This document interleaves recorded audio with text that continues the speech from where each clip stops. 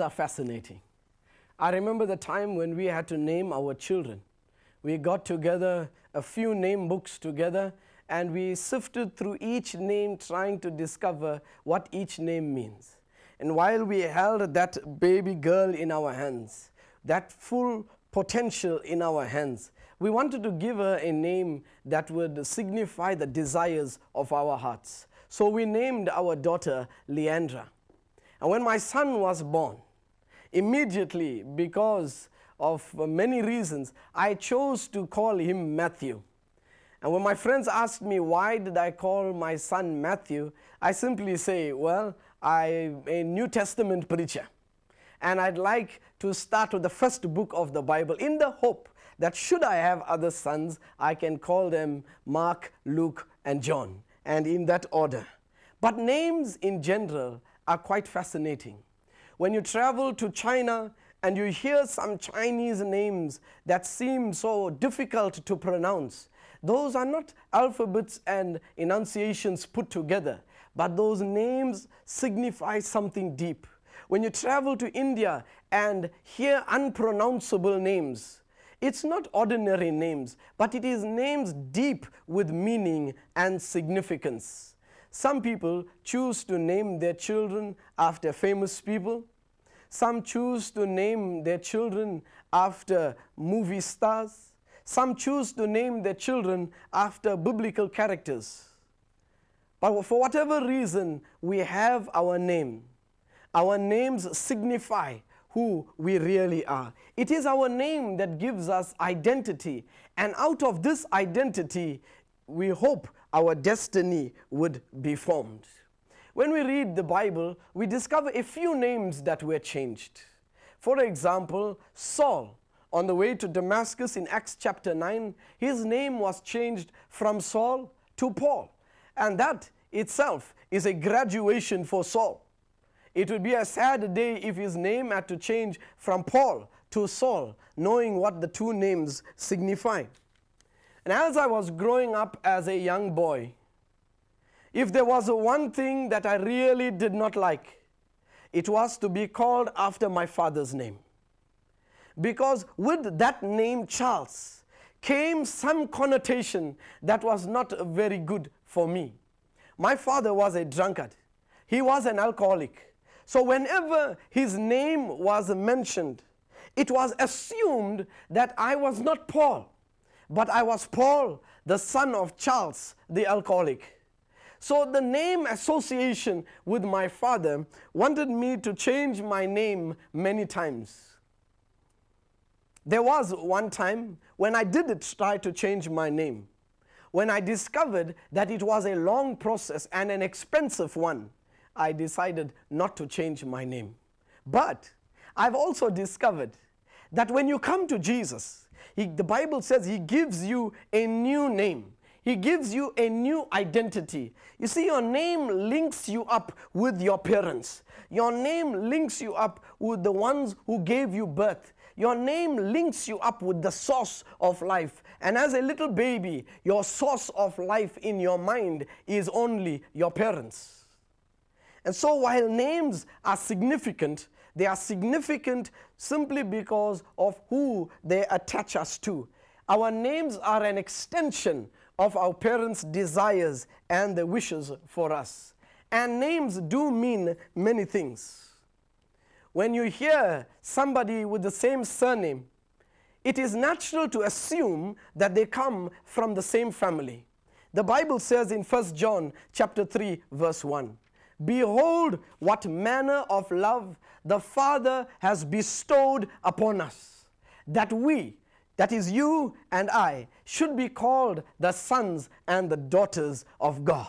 We were adopted into the family of God when we are adopted into a family, but the natural process is to also adopt the name of that family.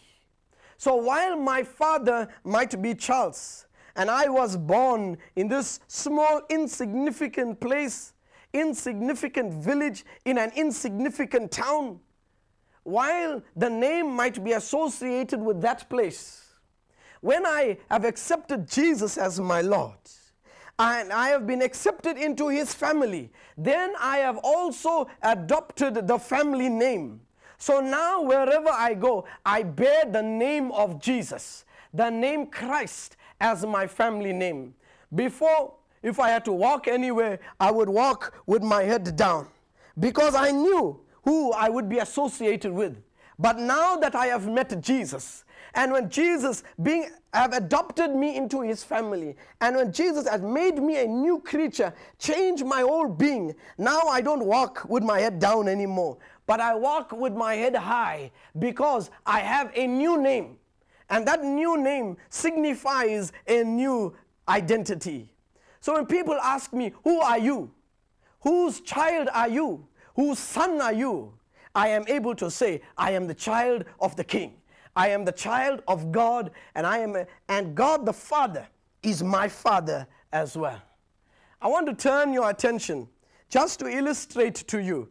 I'd like you to follow with me in the book of Numbers, chapter 13. When we read the book of Numbers, we discover some very interesting reasons why names are changed.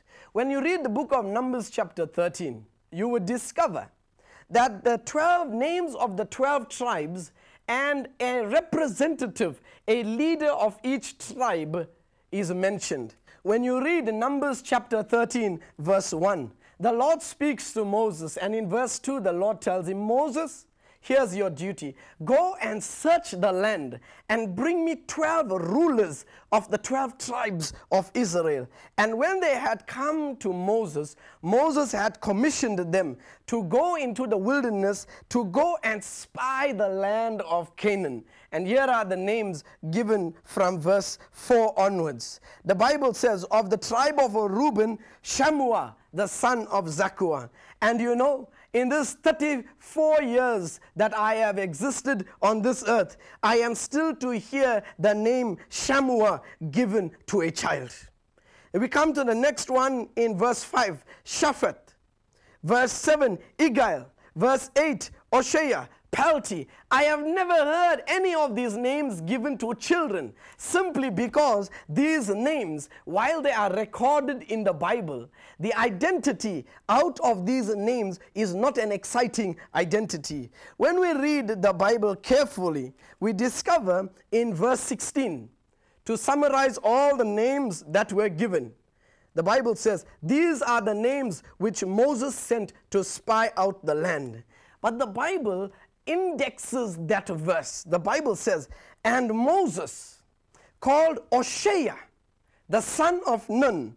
The Bible says, Moses changed the name of Oshea to Joshua. And I wondered within myself, why? Why did Moses change the name Oshea to Joshua? just before they could go to conquer and spy the land of Canaan. What was so significant about this name change? When I do a little more research, I discover that the name Joshua is a derivative of the name Jesus.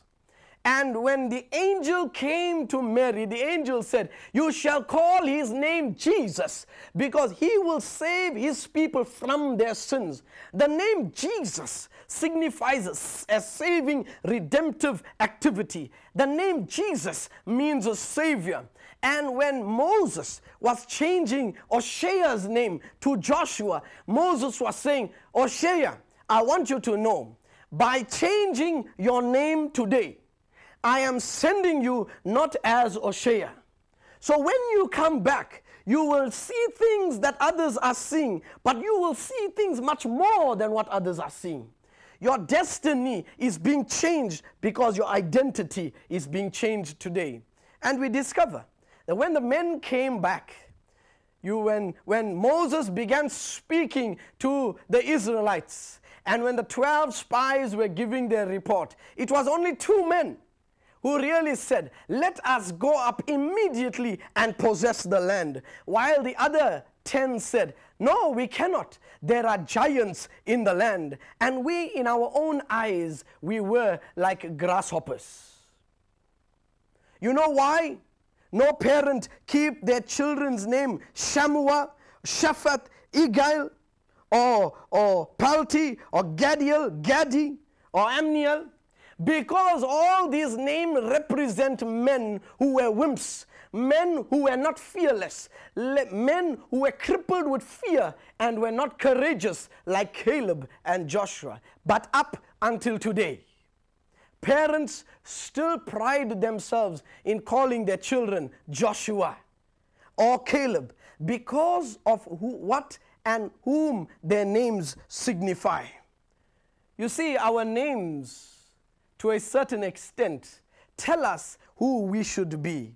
That is why in the Babylonian Empire, the ruling monarch decided to change the names of the three Hebrew boys and Daniel because he thought that in changing their names, he would in effect change their identity. And in changing their identity, he could in then change their destiny. In changing their names, giving them heathen names, the king was trying to change who they really were. But Daniel, Shadrach, Meshach, and Abednego were related to someone much higher than their earthly parents. There is power in a name. And of all the names that I love the most in this world, and understandably so, I love the name Caroline. Now you might wonder why Caroline. Of all the names in the world, I love this name Caroline because Caroline is the name of my wife. And for 12 years, I've been living with this woman. For me, the most beautiful woman in the world. She is who she is who God has destined to place in my path to assist me so that I can assist her. And together we have begun a journey, a process of becoming one, as the Bible says.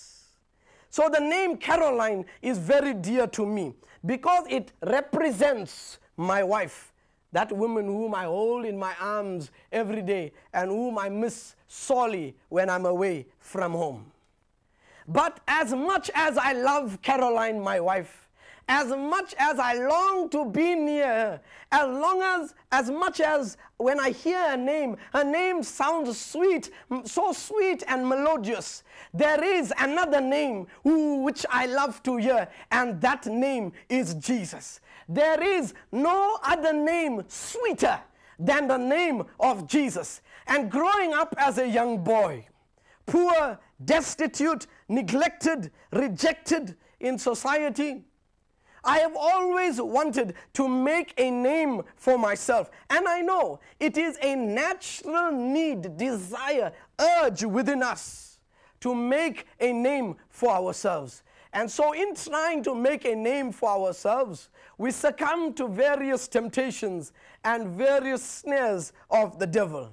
And let me tell you, right now, right here in the beginning, if you hear my name and you forget me, you have lost nothing. But if you hear the name of Jesus and you forget him, you have lost everything. There is something about the name Jesus. We love to hear our own name. You know what amazes me the most about some people? Tattooed on their arms, they would have their name engraved and tattooed. And I used to always wonder why would a, a strapping young man want to tattoo his name on his shoulder or on his chest or on his back? Why would he stamp his own name on his body? There was a time I thought that his parents thought he was slow in learning so they wanted to remind him of what his name was. But by nature, we love our names. Even up till today, while people tell me I need to humble myself, while people say as a servant of God, God can use humble people, I still, when I hear the name Paul, it sounds so sweet to my ears because the name Paul, for me, is one of the most beautiful most powerful names in the universe because it represents me. It identifies me. When you, when you visit schools and you see children writing on their desks and underneath their tables, you would discover among the things that they would write, they would inscribe their names. Because your name is important to you. I've heard it said so many times the sweetest sound to a man is the sound of his own name. The most precious word in the dictionary would be your own name. And if your name is in the dictionary, that in itself is a great thing. But why would people tattoo themselves? Why would people graffiti on walls their own names if they did not love their names? I want I want to read to you today from the book of Luke chapter 13 verse 35. The Bible says, "Blessed is he that comes in the name of the Lord." Blessed, anointed is he who comes in the name of the Lord. You see, no matter how precious our names might be, no matter how much we try to protect our names and shield our names, no matter how sweet our names may sound in our own ears, there is no other name blessed but the name of Jesus. The Bible says in Acts chapter 2, verse 21 Whoever calls on the name of the Lord shall be saved. The Bible goes on to say in Romans 10, verse 13, Whosoever, without exception, it does not matter where you come from, it does not matter what your past have been, it does not matter what your family connection might be, it does not matter how educated you might be, it matters not how wealthy you are, but if if you call on the name that is above every other name, the Bible says, you will be saved. And when we walk into heaven one day, hallelujah, I long for the day when I will walk with Jesus. I long for the day when we will walk hand in hand, when we will sit at his feet, we will look into his eyes and hear with our own ears from the lips of the Savior words of joy and peace. One day when we cross over Jordan and go into glory land, I want you to remember as you walk from this side of heaven into the other side of heaven, as you journey, as you trek from earth into heaven, there is only one name that's going to enter into heaven, and that name is Jesus. Every other name is going to be entrenched in that name because there's salvation in no other name but the name of Jesus. So while we try to perpetuate our names and make our names great, while we struggle and strive to make our to inscribe our names and let it run for eternity if you want your names to last for eternity, let your names be inscribed in the heart of Jesus because access into heaven is only going to be through that name. Those who call upon the name of Jesus, the Bible says, will be saved. Only one name will enter into heaven, everyone else will enter in through that name. And now, for a few moments, I would like us to contemplate on the name of Jesus. The Bible says in Colossians 3, verse 17, whatever you do, young people, whether it is at school or college or, or work, whatever your hand find to do in word or in deed, do it all in the name of the Lord Jesus Christ, giving thanks to God and through the Father. The Bible goes on to say when Jesus was commissioning his disciples in Matthew chapter 28, verse 19, he says, Go into the world and preach the gospel, teaching them to observe all things that I have commanded you. But when you are baptizing them, baptize them in the name of the Father, in the name of the Son, in the name of the Holy Ghost, because there is power in that name. Proverbs 18, verse 10 says, The name of the Lord is a strong tower. The righteous run into and they are safe. The name of the Lord is a fortress, and those who take, fort, take shelter in the name of Jesus, they find refuge, refuge from day to day. The book of Psalm, chapter 20, verse 7 says, Some men trust in chariots, some men trust in horses, but we, we will put our trust in the name of the Lord. Now, many people put their trust in the letters behind their name or in the money that is in the bank. But the Bible says we who put our trust in the name of the Lord will never be disappointed. The Bible says in Psalm 54, verse 1, the cry of the psalmist, Save me, O God. Save me, my Lord. Save me by your name. There is life saving power in the name of Jesus. The Bible says in Psalm 118, verse 10, when I was compassed around by so many enemies, when I was surrounded by my enemies, I was terrified. And while I was in the middle of all this chaos, my trust has been in the name of the Lord, and He will destroy them. Oh, yes. Psalm 124, verse 8, verse, verse 8 says, Our trust, our strength, is only in the name of Jesus. The Bible goes on to, to give many examples of the power behind the name of Jesus. Therefore, the Bible says in the book of Psalm, let us praise the name of Jesus. Let us extol his glories through his name. Let us tell the nations around the name of Jesus because there is power in that name. The Bible says in Isaiah 43, verse 7 Everyone who is called by my name has been created for my glory. When Moses asked the Lord, Lord, when you when you send me to Pharaoh, and when Pharaoh asks me, What is your name? What should I say, Lord? God told him, Moses, go and tell Pharaoh, My name is I am. Moses, my name will not change tomorrow. My name will not change in the years to come, but my name remains I am because I am unchangeable and I will be who I want to be.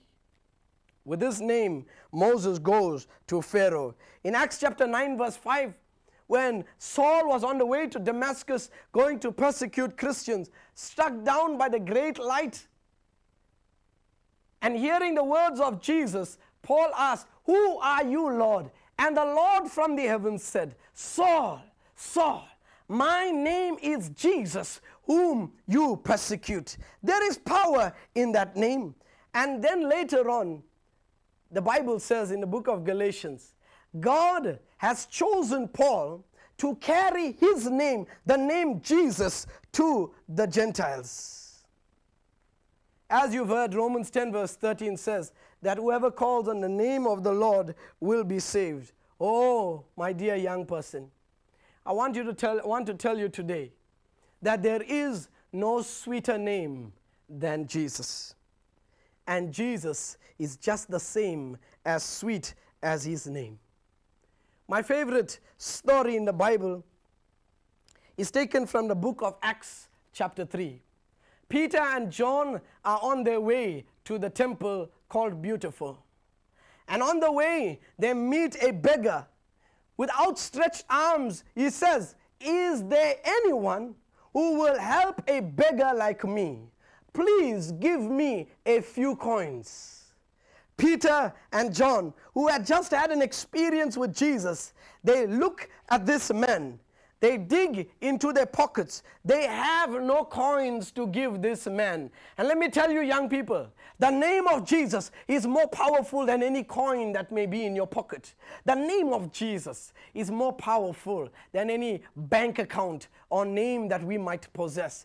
Peter turns to the man and says, Silver and gold have I none, but such as I have, I give unto thee in the name of Jesus Christ of Nazareth, rise up and walk. And the Bible says, the man got up, he started walking and leaping and praising God, all because there is power in that name. The name Jesus above every other name. And there's going to come the time when at the name of Jesus, every knee will bow and every tongue will confess that Jesus is indeed Lord of lords and King of kings. Until that day, it is just our privilege to walk with God bearing that name. Now remember my childhood and the name that I carried, my family name. It signified nothing glorious, it signified nothing glamorous. And your name might also signify nothing glamorous or glorious. You may not come from a powerful family. You may not have an influential family name that you can use. Your name might even be an embarrassment to you. But today, I want to tell you, dear young people, when you come to Jesus and you accept Him as your Lord and as your Savior, and when you are adopted into His family, a name change takes place. And if you are experiencing challenges in your life, if you are experiencing traumatic experiences, walk in the name of Jesus. When David approached Goliath, Goliath told David, You come to me. As a little boy, today, I will feed your, your flesh to the birds of the air. David turns to Goliath in the book of 1 Samuel, chapter 17. You come to me with a sword, with a shield, and with a spear. But I come to you in the name of the Lord. And when David sent that stone, he sent it in the name of the Lord. In the name of Jesus, Goliaths fall down. What is your Goliath today? Tackle it in the name of Jesus. I have nothing to give you, young people, but I give you the name that is above every other name. Let us pray. Almighty God, we thank you for the name that is above every other name. We thank you, dear God, for choosing us to be part of your family. We thank you, Heavenly Father, that in spite of who we are, you have accepted us into your family so that we have a new identity. Lord, from the time we open our eyes now and until we open our eyes into glory land, may we walk in the strength that is only found in the name of Jesus Christ our Lord. Lord, let that name quicken us as it quickened the lame beggar. Let that name bring giants down, Lord, as David brought down Goliath in your name. We pray this in the never failing name of our Lord and Savior Jesus Christ. Amen.